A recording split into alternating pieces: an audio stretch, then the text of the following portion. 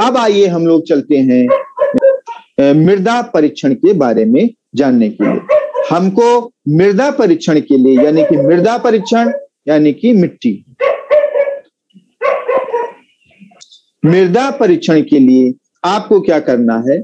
आपको जो भी आप, उसके लिए आवश्यक सामग्री क्या होगी? आपको लेना है खुरपी, फावड़ा या प्लास्टिक, उसके साथ आप ले लेंगे, आप ट्रे ले लेंगे और प्लास्टिक का थैला ले लेंगे। आप एक पेन ले लेंगे, धागा ले लेंगे और एक पेपर ले लेंगे, जिसमें आप आप मृदा नमूना को लिखकर आप उसमें डाल सकें। उसके बाद एक उसका सूचक पत्र होगा।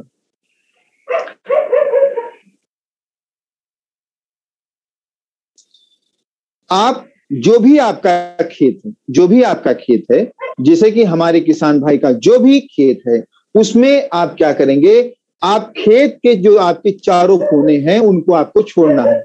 खेत के चारों कोनों को आप कैसे छोड़ेंगे? उसके लिए आपको क्या करना है? जैसे कि हमारे जो किसान भाई खेती करते हैं तो खेत में कोने मतलब चार कोने होते हैं, उन, उसकी मिट्टी आपको नहीं लेनी है। उसके साथ साथ आपको अपने खेत में जो भी आपका एक हेक्टेयर या दो हेक्टेयर का भूमि है, उसमें आप कम से कम 10 से 15 जगह आप निशान बना लें। खेत के बीच में बना लें। खेत के चारों कोनों को एक से दो लट्ठा छोड़ के, यानी कि कम से कम जो भी आपका खेत है, उससे आप 10 से 15 मीटर जगह छोड़ के आपको गड्ढा बनाना है। गड्ढा आप किस तरह बनाएँगे? आप कम से कम एक गोला 15 सेंटीमीटर का गड्ढा बनाएँगे। और जब आप वो गड्ढा बनाएँगे पंद्रह सेंटीमीटर का, और कम से कम से कम चार से पाँच सेंटीमीटर चौड़ा हो, वो आपका गड्ढा। उस गड्ढे की सारी मिट्टी को आपको निकाल के फेंक देना।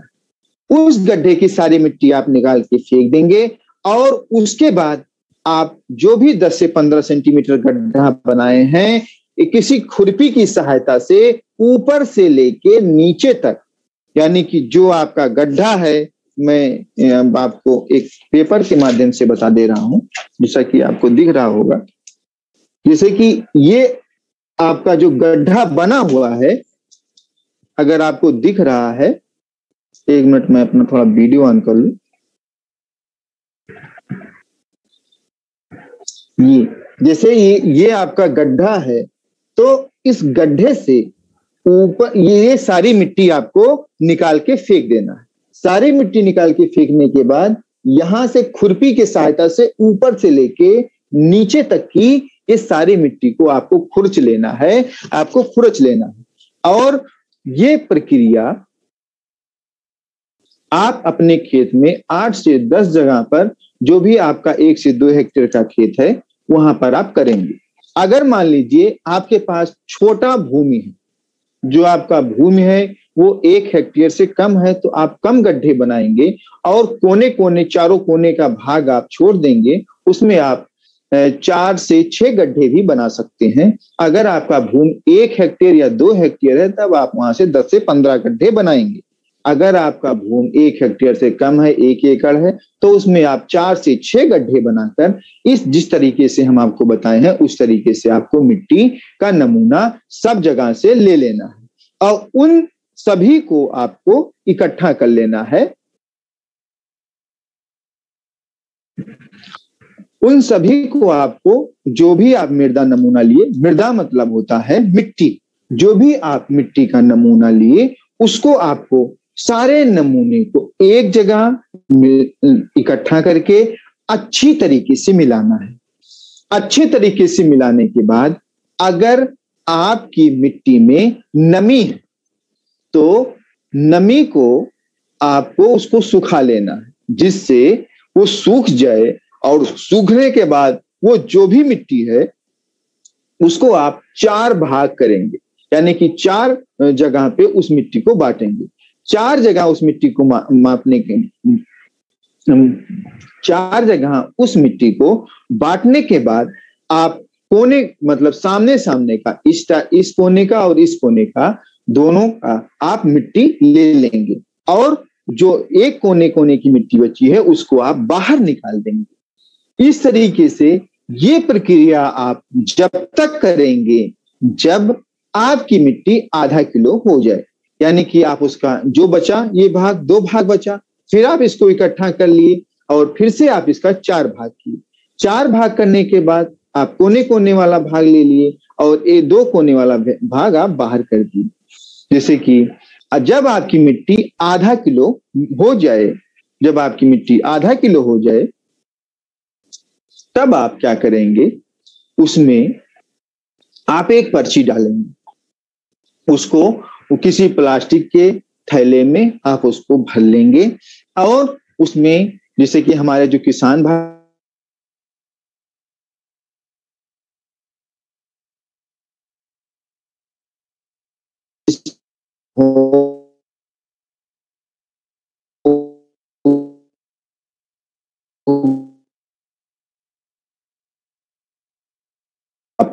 हैं, मजरा के बाद दूसरा चीज़ आपका जो भी मतलब किस न्याय पंचायत या किस गाँव के आप निवासी हैं, वो सारी चीज़ें लिख देंगे उसमें। उसके साथ आप इंडिकेट कर लीजिएगा, यानी कि जैसे कि हमारे जो किसान भाई होते हैं, बहुत से जगह की मिट्टी इकट्ठा करते हैं। अपने खेत में, जैसे एक खेत हुआ उसके बाद उनके बहुत से किसानों के अलग अलग खेत होते हैं तो वहाँ वहाँ की मिट्टी जो लेते हैं तो उसका इंडिकेशन के लिए आप लोग नोट कर लीजिएगा कि ये तालाब के पास वाला प्लाट है, कि आपके पास नीम के खेत वाला प्लाट है, जो भी हमारे किसान भाई होते हैं, उनके जो भी खेत होते हैं, वो अपने खेत को नाम से दर्शाए रहते हैं तो वो नाम आप इंडिकेट कर लीजिएगा, जिससे आपको जो मृदा नमूना का रिज़ल्ट आए उसमें, उस फ़सल में आपको उपयोग करने से कोई दिक्कत या समस्या ना हो। ये सारी चीज़ें लिखने के बाद आपको एक चीज़ का और ध्यान रखना है। आपने जिस फ़सल की, जिस खेत की, मिट्टी की जाँच करवा रहे हैं, उस खेत में आपने पहले कौन सी फ़सल ली थी?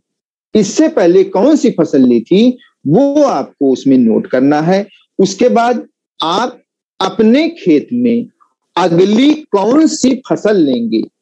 वो आप उस पेपर में नोट करके कृषि विभाग के सॉयल टेस्टिंग डिवीज़न यानी मृदा परीक्षण केंद्र में आप इसको दे देंगे और दो से चार दिन के भीतर आपको जो भी आपके क्षेत्र के कृषि मित्र होंगे, किसान मित्र होंगे, वो आपको ये जो सॉयल हेल्थ कार्ड आपको लाके दे देंगे, जिससे मैं आपको, आपकी मिट्टी के प्राथमिक पोषक तत्व, जैसे CHO की मात्रा, उसमें कंपोस्ट खाद की मात्रा एनपीके की मात्रा, सूक्ष्म पोषक तत्व की मात्रा, उसके अंदर जो भी चीज़ें हैं, वो सारी चीज़ें उसमें मेंशन होंगी।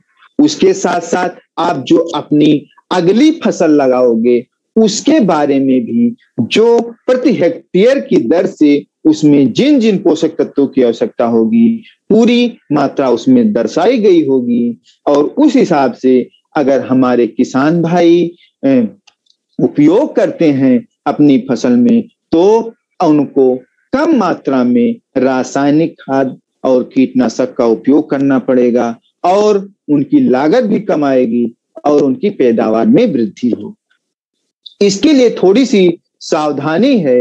वो थोड़ी सी सावधानी आप ध्यान रखना मृदा परीक्षण या मृदा नमूना लेने से पहले आपको गड्ढा तैयार करें। उसके ऊपर के जो घास फूस हैं, उन घास फूस को आपको हटा देना है और घास फूस को हटाने के बाद या फिर वहाँ पे कोई कंकड़ पत्थर हैं तो उन कंकड़ पत्थर को भी आप हटा के आप वहाँ का मृदा नमूना लेंगे।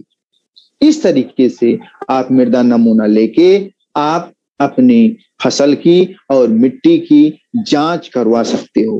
तो जैसे कि आप अपने शरीर का जाँच करवाते हो तो उसमें आपको पता चलता है कि हमें इस पोषक तत्व की आवश्यकता है और वही आप खाते हो और आप अच्छे और स्वस्थ होते हो। उसी प्रकार जब आप मिट्टी का जाँच करवा के आप उसमें उस तरीके से पोषक तत्व का उपयोग करेंगे तो आपको अच्छा रिज़ल्ट मिलेगा।